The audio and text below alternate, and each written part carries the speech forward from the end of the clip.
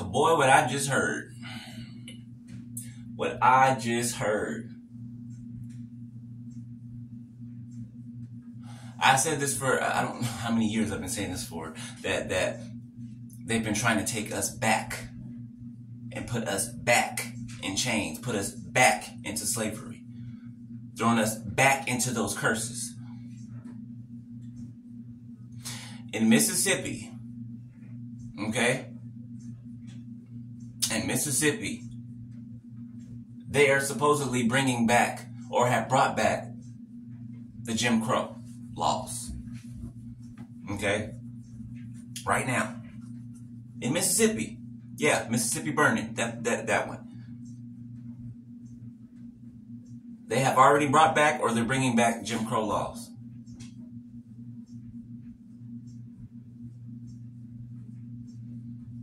I feel like that's an opportunity for us to rejoice. that means the Lord is that much closer to cracking that sky. 111 on my timer. See, people keep saying uh, uh, uh, when the Lord comes back, when the Lord comes back, He's already here. One, two, three on my timer. He's already here. The event just hasn't happened. He's here. The Lord is here. He's here in the earth already. Moving about doing his thing. Can you not see it? For I am doing a new thing. Shall you not perceive it? Shall you not know it?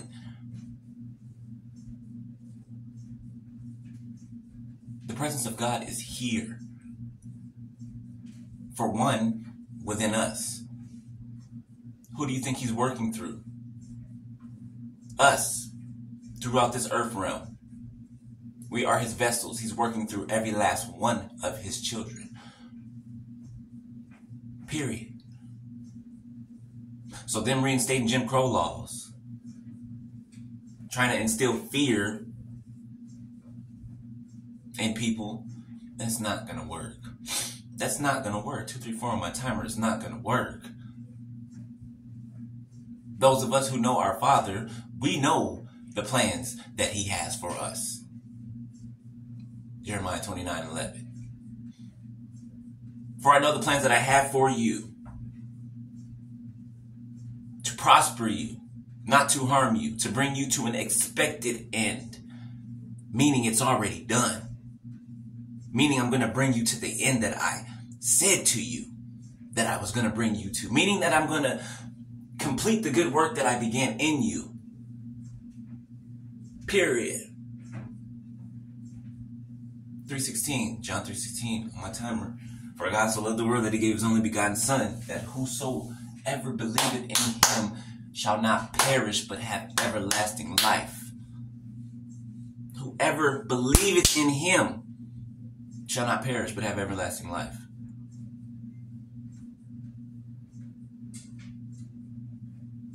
Believe in him. Not what the world is doing, not what the world is threatening you with. Because really, they're threatening us, God's chosen ones. Really, that's who they're talking to. Why do you think they're trying to bring Jim Jim Crow laws back? Who were the what was the Jim Crow laws for? Our ancestors that were brought over here on slave ships. The tribe of Judah. And I ain't talking about these uh, Hebrew Israelites out here to be spewing hate in the streets. I ain't talking about that. When I say Judah, talking about the real tribe of Judah. Our ancestors that were brought over here stacked up like sardines on slave ships.